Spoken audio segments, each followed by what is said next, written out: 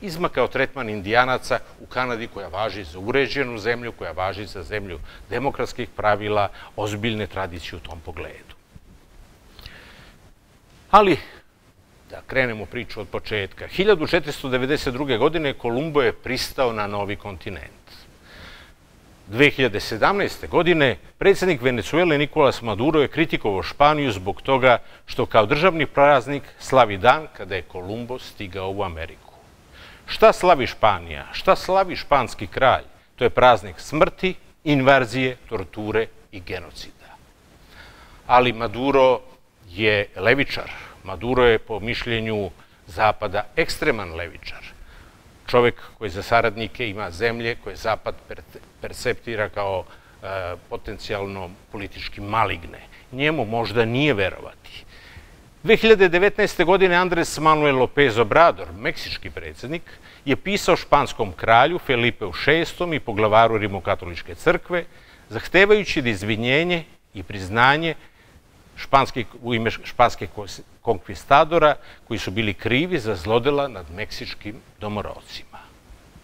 Danas u Meksiku živi oko 25 miliona indijanaca. Ali i meksički predsjednik je levičar i populista. I njemu se nerado e, veruje u zapadnom javnom mnjenju. Međutim, u gradiću Santa Fe u New Meksiku, u američkoj državi New Meksiko, e, postoji jedna manifestacija koja se zove Entrada. Mogla bi se prevesti kao ulaz. Ona predstavlja proslavu španskog osvajanja iz 1692. godine, kada su španski osvajači pokorili na krvav način lokalne indijance i 2018. godine došlo je do prekida te proslave i ona je zamenjena multikonfesionalnom molitvom. Iako u Santa Feu, koji broji 70.000 stanovnika, postoji tek 2% indijanaca, 40% ajde recimo, belaca i oko 54% ljudi španskog porekla. Dakle, postoji jedna nelogoda da se jedan praznik vezuje za nasilnu okupaciju i nasilno preuzimanje zemlje od imperialne sile i kolonijalne. Šta na to kaže španska vlada? Španska vlada odbacuje sve ovakve zahteve i ne pristaje na bilo kakvu reviziju svoje kolonijalne istorije a već smo nekoliko puta do sada rekli da je Špansko carstvo kolonijalno uz Portugalsko najstarije na svetu. Za razliku od Španije, Australijska, o tome smo već pričali, kanadska vlada su uputile zvanično izvinjenje starosedeocima, a Barack Obama, američki predsjednik, je priznao da je indijancima učinjena nepravda. Za zločine u Novom svetu izvinjenje je upućeno i od strane nekoliko poslednjih poglavara Rimokatoličke crkve. Sadašnji papa, papa Franjo, je 2015. godine u Boliviji zatražio oproštaj za zločine protiv starosedelaca tokom osvajanja Amerike. Papa Benedikt XVI je rekao da se ne mogu ignorisati greške tokom širenja hrišćanstva u Americi i bol i nepravde koje su kolonizatori naneli indijanskoj populaciji. Papa Jovan Pavle II je govorio o potrebi za iskupljenje zbog greha, nepravde i nasilja tokom hrišćanskog osvajanja indijanskih teritorija. Svima koja bi ova tema mogla zainteresovati, a koji nisu gledali, preporučujem film Misija koji govori upravo o odnosu crkve, dvojakom odnosu crkve prema indijancima. Film je fantastičan, uz fantastične glumce, ali neću vam više otkrivati. Sada ćemo se baviti odlukom Vrhovnog suda Sjedinjenih američkih država koji je nedavno odlučio da pola Oklahoma pripada indijancima. 1997. pokrenut je postupak McGirrit protiv Oklahoma zbog optužbe izvesnog McGirrita, indijanca, za silovanje devojke. Silovanja su izrazito prisutno u američkim rezervatima. Indijanke su dva i po puta izloženije silovanjima od bilo koje prosečne Amerikanke ili Kanadžanke. Najveći deo tih agresivnih zločina, slobodno mogu da kažem protiv čovečnosti u pojedinačnom smislu, čine e, ljudi koji nisu indijanci. Oko 86% počinilaca nisu indijanci. Ali jako mali broj tih silovanja se uopšte procesuira. Zašto? I to ćemo kasnije objasniti. Taj predmet je došao do Vrhovnog suda SAD. Suština tog predmeta je bila da su advokati Megirit osporavali pravo državi Oklahomi da sprovodi istragu i sprovodi sudske sankcije prema indijancima, pozivajući se na neka stara obećanja. Tu smo se setili citata iz Kuma 1, ne obećavajte ako znate da to obećanje ne možete ispuniti. Oklahoma je inače bila jedna od poslednjih država koje su se priključile Sjedinjenim američkim državama. U njoj su indijanci prisilno depertovani akcijom Put suza. O tome ćemo takođe govoriti. U toj akciji, tom putu, bile su i seminole kojima je Meg Girit pripada. Američka vlada je u to vreme, dakle u vreme odigravanja puta suza, 30. godina 19. veka, rekla da će nova zemlja večno pripadati plemenima. I pozivajući se na to obećanje, većinom glasova, sud je doneo odluku koja predstavlja neku vrstu presedana. Odluka je doneta zahvaljujući glasu Neila Gorsača, koga je u Vrhovni sud imenovao Donald Trump.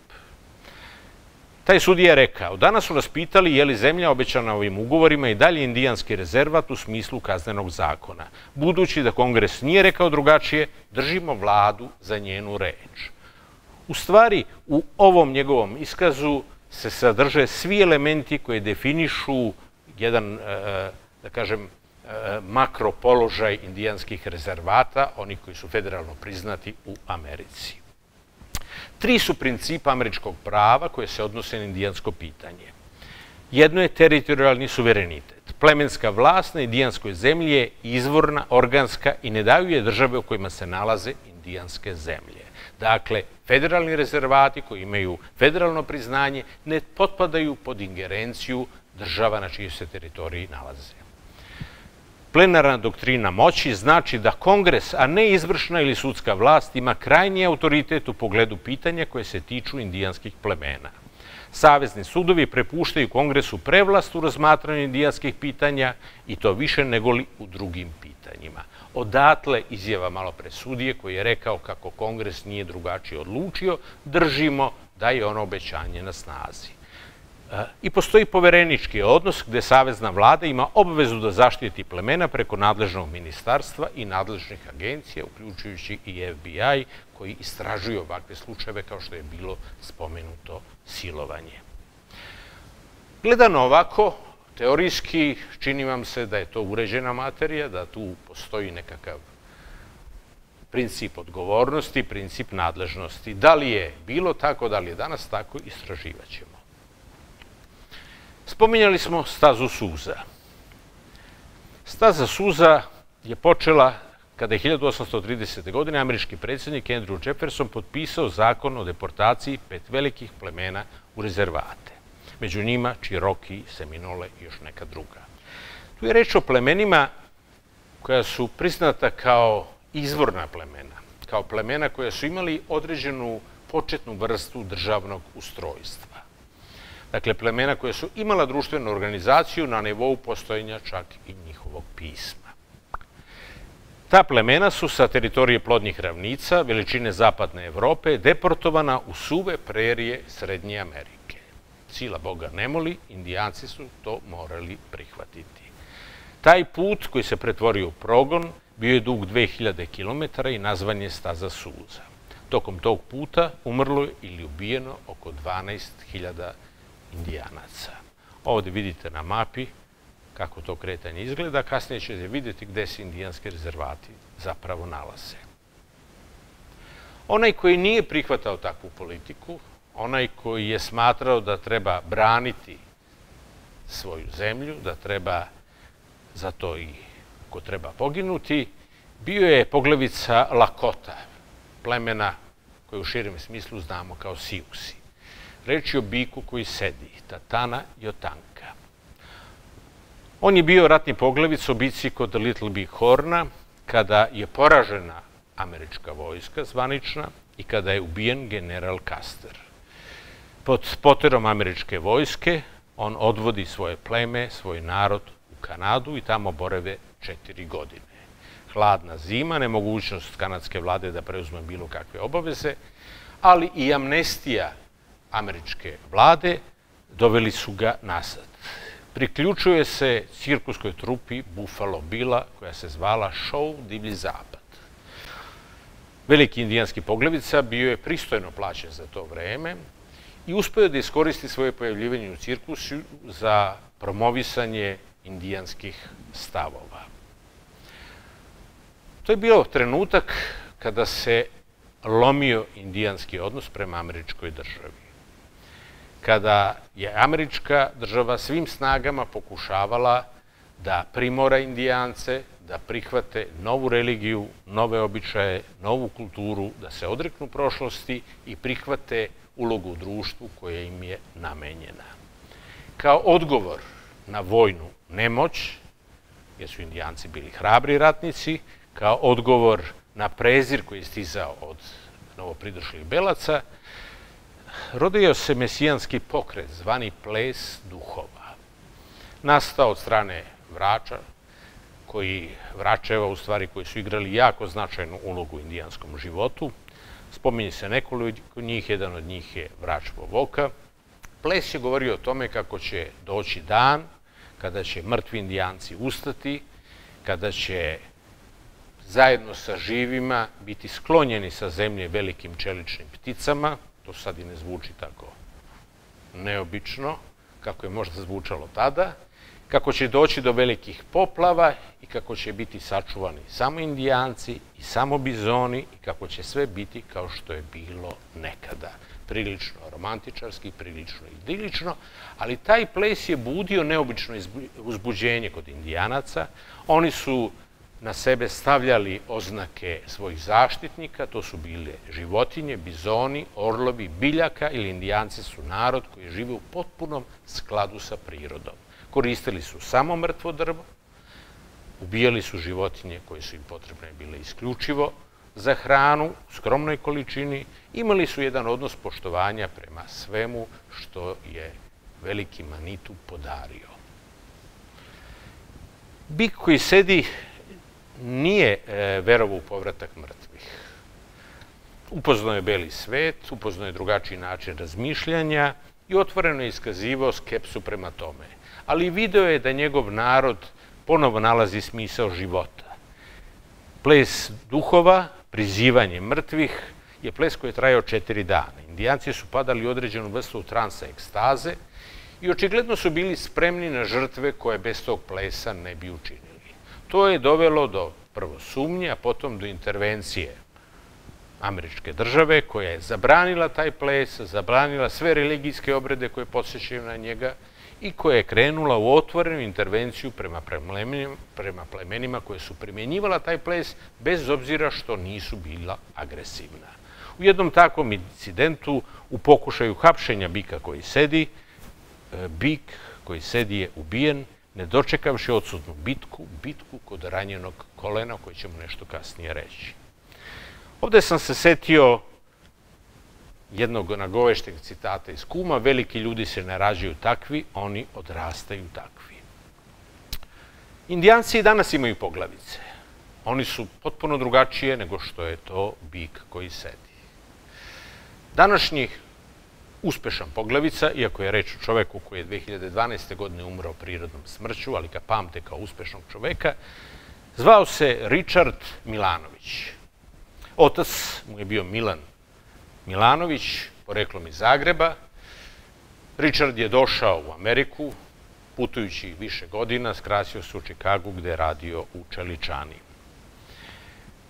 Oženio je indijanku, žive je sa njom 15, pardon, govorimo o ocu pa, Richarda Milanovića, znači otac Richarda Milanovića, Milan Milanović je oženio Indijanku, radio u Čeličani i nakon 15 godina života napustio je Richarda i njegovu majku. Richard je sav svoj život proveo sa indijancima i sebe prepoznaje kao indijanca srpskog porekla. Na njegovoj sahrani, pored predstavnika Bele kuće, bili su i predstavnici srpske zajednice u Americi. On je bio predsednik saveta, čitajmo to kao poglavica, Kahuila indijanaca koji potiču od Šošona, u rezervatu Agva Caliente i to u nizu dugom 29 godina. bio indijanski predstavnik u Senatu SAD i istaknuti borac za indijanska prava i kulturno nasleđe. Barem ga kao takvog pamte. Vešt pregovarač i plemenski preduzetnik, stavio sam ovo pod znake navoda, shvatit ćete zašto, sa inicijativom koja svima donosi. Čovek čijom predanošću kalifornijski indijanci danas zarađuju oko 5 milijardi dolara godišnje. Dobro ste čuli. Prihod plemena Kahuila je 5 milijardi dolara godišnje. Kao što sam rekao, prirodnom smrću umro je 2012. godine. Ovo je njegova porodica, njegova supruga, sin i čerka. Složit ćemo se da ne deluju ono kako bismo mi danas zamišljali indijance. Ali oni su deo privilegovane zajednice, kakvih je malo danas u Americi. Iza Richarda ostali su poslovni uspesi. Aqua Caliente Spa Resort Casino, Fitness Casino Centar Well Spirit, hotel u Palm Springsu, dva golf centra, pozorište u Rančo Miražu, muzej i velika kuća plemena. Rezervat o kome mi pričamo nalazi se u blizini bogatog dela Amerike, turistička je destinacija, veliki broj veoma bogatih Amerikanaca vrlo rado tu dolazi.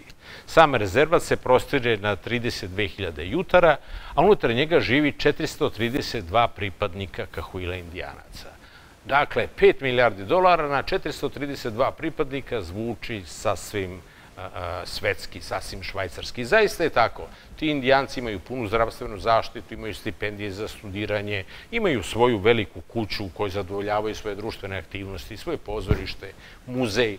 E, međutim, ovo je redka situacija i faktički iskorišćen taj zakonski vakum koji postoji u kome smo govorili da su te države eksteritorijalne u odnosu na e, ti rezervati eksteritorijalni u odnosu na države u kojima se nalaze, u ovom slučaju u odnosu na Kaliforniju.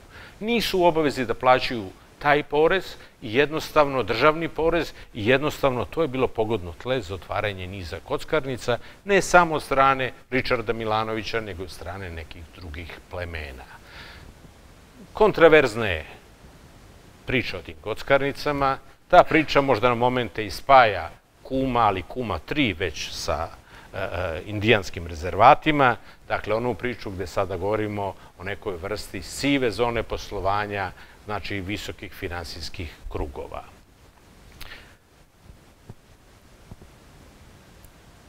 Ovde bih stavio taj citat. Uspostavite prijateljstvo iz poštovanja, poslovanja i poverenja. Richard Milanović je uspeo sa lokalnom zajednicom, čak i sa guvernerom Schwarzeneggerom posle niza sukoba, da napravi odnos poverenja koji je bio na više struku korist.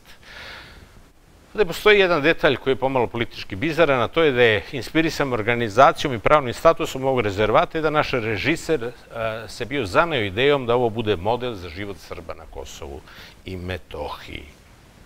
Ovo navodim kao neku vrstu političke bizarnosti, ali u svakom slučaju treba proučavati model organizaciju života indijanaca u Americi, jer ima korisnih rešenja koja se mogu univerzalno primijeniti. Kako živi indijanci danas? Da li je sve ovako bajkovito? Da li je u stvari indijanski rezervat po defaultu neka vrsta spa centra za bogate? Na tlu obe Amerike danas živi oko 69 miliona indijanaca. U Meksiku ih je 26 miliona, a u Brazilu svega 820 hiljada. U Kanadi čine 3% stanovništva pod imenom prve nacije. Ima ih oko milion do milion i 400, zavisi od načina obrade podataka, da li e, u, prvu naciju svrstavate i Inuite, Eskime ili samo Indijance, znači, e, ajde da kažemo da tu postoje određene dileme, ali negde oko 3% je realan podatak. U Sjedinjenim američkim državama njih je 3 do 5 miliona, zavisi opet od načina iskazivanja podataka i čine oko 1% stanovništva pod imenom američki domorodci. Zvanično je priznato 567 plemena. Šta to znači? To znači da su ta plemena dobila od federalnih vlasti status zvaničnih plemena. Postoji još, ako se ne varam, oko 200 plemena koja su podnela zahteve, ali čiji zahtevi nisu razrešeni. U SAD-u postoji 326 rezervata koji, e, koji se pružaju na površini od 227.000 kvadratnih kilometara. Od toga zvanično federalno priznatih je rezervata koji zauzimaju površinu 130.000 kvadratnih kilometara ili negde oko 1,3% teritorije SAD. Neko će kazati, pa tu postoji proporcija 1% stanovništva i 1,3% teritorije SAD. Ali setimo se da nekada nije bilo tako, da su nekada indijanci činili daleko veći procenat stanovništva i setimo se da je teritorija koja im je pripala, nažalost, daleko siromašniji deo e, zemlje kojim SAD raspolaže. Najveći rezervat od nabrojenih je rezervat na Vaho naroda, ima oko 60.000 km i 300.000 stanovnika. Poređenja radi, to je oko tri površine pokrajine Vojvodine ili gotovo cela Srbija bez pokrajina. Evo ovako izgleda mapa indijanskih rezervata. Kao što vidite, na ovoj istočnoj, bogatoj obali gotovo da nema rezervata, sem nešto malo oko jezera na granici sa Kanadom. Većina je prerija, centralna Amerika, dakle onaj deo koji belcima nije bio interesantan tokom naseljavanja. Šta se desilo zapravo s indijancima da ih danas bude u tom broju i u tom statusu? Dešavala se fizička agresija, oružana intervencija, borba, za zemlju, za resurse. O tome smo nešto rekli i to vam je svima većinom poznato. Dešavao se biološki rat. Male boginje i tuberkuloza su namerno šireni u pojedinim plemenima kako bi bila desetkovana. Prvi slučaj je zabeležen u Kanadi, u Britanskoj Kolumbiji, gde je crkva podelila irokezima ćebad u okviru pomoći koji su koristili bolesni ljudi od malih boginja indijanci nisu imali imunitet prema ovim bolestima i te bolesti su ih potpuno desetkovale. Dešavao se alkoholizam.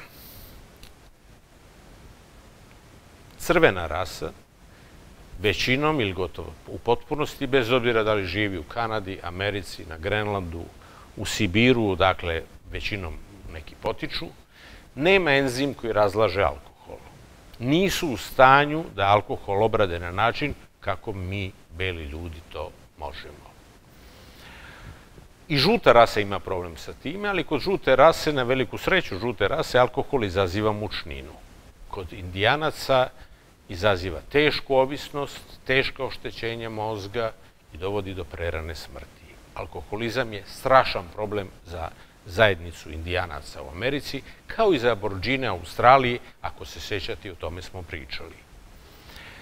Neko će kazati da, ali država je bila dužna da vodi računa o tome. Carska Rusija je zabranila prodaju alkohola severno i istočno od Bajkala, vodeći računa o tome. Ali istine radi, i u pojedinim američkim rezervatima, negde od 30. godina 19. veka, bila je zabranjena prodaja alkohola. Problem koji postoji u američkim rezervatima indijanaca je što je prodaja alkohola dozvoljena odma na granici sa rezervatima. Tako da vi imate mesta sa 10 ili 15 ljudi naseobine koje prodaju desetine miliona konzerve piva ili litara žestokog pića. Dakle, ne postoji tampon zona koja bi pomogla odvikavanju od alkohola. Zbog toga je životni vek indijanaca tek nešto preko 40 godina. Nezaposlenost je ogromna, između 50 i 90 posto, deset puta viša je stopa samoubistava među njima, a kao što sam rekao, između tri do pet puta je više silovanja i pokušaja silovanja. I sada dolazimo do nečega što sam ja nazvao tužno poglavlje kanadske istorije. Vidjet ćete zašto je u stvari reč o citatu, koje objašnjava otkud ovakva depresija, otkud ovakav očaj u indijanskom narodu. Ovde sam se setio onoga citata kuma koji kaže porodica je najvažnija stvar u životu. Kanadski premijer Steven Harper se 2018. godine u govoru u parlamentu koji su prenosile sve vodeće TV stanice u ime vlade zvanično izvinuo zbog toga što je u okviru zvanične politike asimilacije 150.000 dece starosedelaca, dakle indijanaca, oduzeto od porodica i prisiljeno da pohađe internate pod okriljem hrišćanske crkve. Žao nam je, bilo je to tužno poglavlje kanadske istorije. Više od 150.000 dece pohađalo je jedan od 130 državnih hrišćanskih internata od 19. veka pa sve do 1996. godine. Zapamtite, tema suočavanja sa prošlošću serijala jeste mračna strana istorije u 20. veku. Mi smo ovde na pragu 21. veka. Poslednja takva škola zatvorena je u Kanadi 1998. godine. U početku pod nazorom crkve, a kasnije sekretarijata za indijanska pitanja, ove škole su imale za cilj da nateraju domorodačku decu, da nauče engleski jezik, prime hrišćanstvo i zapadne običaje u okviru vladine politike agresivne asimilacije. Živeći u izuzetno lošim uslovima, veliki broj dece je bio fizički, mentalno i seksualno zlostavljan, što je obelodanjeno tek prošlog veka. U pojedinim školama polovina đaka je umirala od tuberkuloze. Podaci koji su objavljeni su stravični. Oni govore o strašnim zlostavljanjima, psihičkim i fizičkim, govore o nemalom broju drogirane dece, koja su namerno drogirana, da bi mogla da opstanu, prežive, prihvate takav režim života. Danas je među živima 86.000 bivših štićenika. Oni imaju pravo na novčanu nadoknadu u okviru vladinog paketa vrednog 2 milijarde kanadskih dolara koji je usvojen 2005. godine. Izvinjenje Kanade usledilo nekoliko meseci nakon što se australijski premijer Kevin Rudd na sličan način obratio takozvanoj ukradenoj generaciji. Kada je desetine hiljada aboriđina na sličan ili gotovo identičan način odvojeno od svojih porodica i prevaspitavano na teritoriji Australije. O tome imamo celu priču, o tome imamo sesiju koja se zove dosije aboriđini i koja je, čini mi se, potencijalno najgledanije iz ovog serijala. Sličnih internata za domorodačku decu bilo je u Sjedinjenim američkim državama. Pa ipak čini mi se da je e, otkrivanje pune istine o statusu indijanaca u Kanadi pravo iznenađenje. 1. juna je počela da radi komisija za istinu i pomilovanje koja će u narednih pet godina putovati po celoj Kanadi i organizovati javne rasprave o ovoj mračnoj stranici istorije kako bi ojačala veze između milionske marginalizovane populacije starosedelaca i ostala 32 miliona Kanadžana. Ovo je izvod iz zvaničnog dokumenta, mislim iz 2008. godine. Pokušaj da nam se zatre identitet duboko nas je povredio. To je ono što indijanci pamte. Znači, taj pokušaj zatiranja identiteta, to je njihova zvanična izjava kao reakcija na sve ovo što se desilo. Dakle, istorijski ih nije zapeklo toliko fizičko nasilje, istrebljenje, koliko pokušaj da im se ukine prvo jezik, potom kultura, običaj i religija. Ovo je jedan slajd iz priče ukradenoj generaciji u Australiji. Podsjetit ću prosto da vidite koja je to vrsta sličnosti. Laboristički premijer, australijski Paul Keating, održao u parku Red Fern istorijski govor 1992. godine, kada je rekao, mi smo im oduzeli zemlju, aboriđinima, i uništili im tradicionalni način života. Doneli smo im bolesti i alkohol. Mi smo počinili ubijstva, oduzeli smo decu od aboriđinskih majki i sproveli diskriminaciju. To je rezultat našeg neznanja i naših predrasuda. Nismo ni pomislili da se isto može desiti nama. Jedan do 1,4 miliona starosedelaca, to je oko 3% stanovništva, danas čini najsiromašniju i najobespravljeniju društvenu grupu u Kanadi, sa visokom stopom nezaposlenosti, kriminala i alkoholizma i najvećom stopom ubijstva. 10. aprila 1883. godine vlada SAD preko indijanskog poverenika uvela praksu sudskog procesuiranja plemenskih rituala i običaja, faktički zabranjujući jezike indijanskih plemena, njihovu kulturu i običaje. To je ona priča o plesu duhova, to je ona priča o zatiranju pokreta koji je mogao da ima mesijansku ulogu. Kanada je očigledno izabrala subtilniji način. Evo jedne ilustracije. Na 100 km od Toronta je rezervat šest nacija, kako to idilično zvuči, u kome živi šest plemena Irokeza. Irokezi su bili britanski saveznici tokom rata na tlu Kanade sa Francuzima. Za nagradu za to savezništvo britanska kruna im je darovala rezervat šest nacija, smanjujući površinu tog rezervata iz godine u godinu.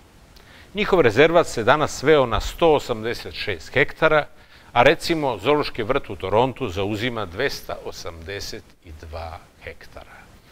U indijanski rezervat se danas ide da bi se kupile jeftine cigarete, jer ne moraju da plaćaju porez, da bi se videlo da li indijanci zaista postoje i da bi se eventualno probudio osmeh, jer indijanci vole za sebe da kažu da su oni narod koji neguje kulturu osmeha.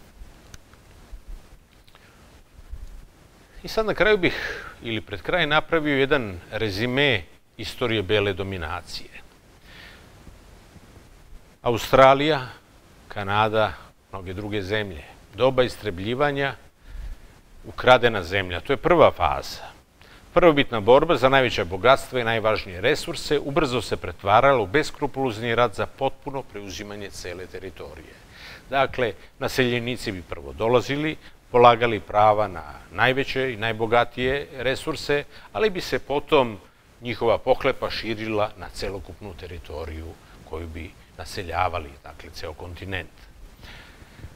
Da je to tako, evo, čini mi se da je ovo dovoljno svedočenje. Tokom bitke kod ranjenog kolena 1890. kada je došlo do posljednjeg oružanog obračana Lakota, Siuksa i američke vojske, masakrirano je oko 300 Siuksa koje je predvodio poglavica veliki, Veliko Stopalo.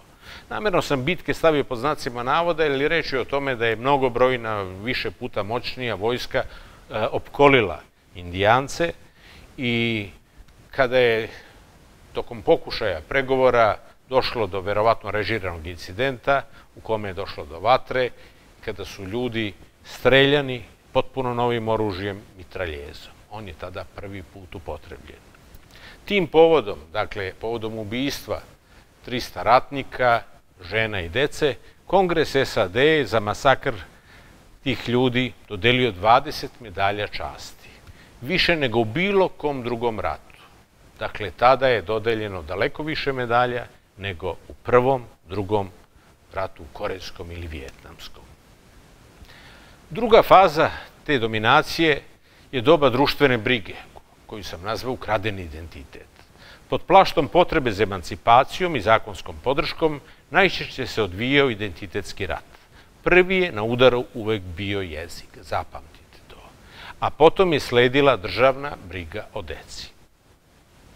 UNESCO potvrđuje da su ugrožene tri četvrtine od ukupno 90 domorodačkih jezika Kanade. Na inu, nad inuitskim jezikom se odvija takozvani lingvicid. U pokrajini Nunavut, gde živi 60% e, inuitskog stanovništva, vlada daje 39 puta više pomoći za francuski jezik nego za inuitske jezike.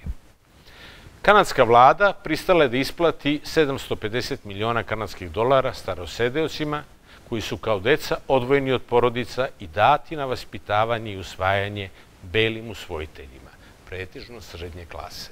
Dakle, nije samo bila priča o prevaspitavanju u okviru hrišćanskih internata, već je postojala priča i o direktnom oduzimanju i davanju na vaspitavanje, odgajanje i usvajanje belim porodicama. Taj program koji se odvijao od 60. do 80. godina 20. veka obuhvata je oko 20.000 dece i bio je poznat pod nazivom 60. lopata. I na kraju te istorije bele dominacije dolazi do doba simbolične afirmacije. Tako smo ga nazvali u priči o aboriđinima, pa neko ostane tako i ovde. Tek kada svojom brojnošću i svojim socijalnim statusom porobljeni narodi dokažu svoju inferiornost i kada tako inferiorni ogrezli u kriminalu, alkoholu, drogama i boleštinama postanu ekonomski teret za belu zajednicu, dolazi do simbolične afirmacije njihovog nekatašnjeg identiteta i donekle izmenjene društvene pozicije. Nepristajanje na takav status budi radikalne namere kod e, autohtonih plemena i dobija etiketu ekstremizma, bez ulaženja u opravdanost njihovih zahteva. Tako postoji američki indijanski pokret i za koji se vezuju mnoga dešavanja u rezervatu Lakota, Pine Ridge, dakle Lakota pleme je do dana današnjeg se osjeća nepokorenim.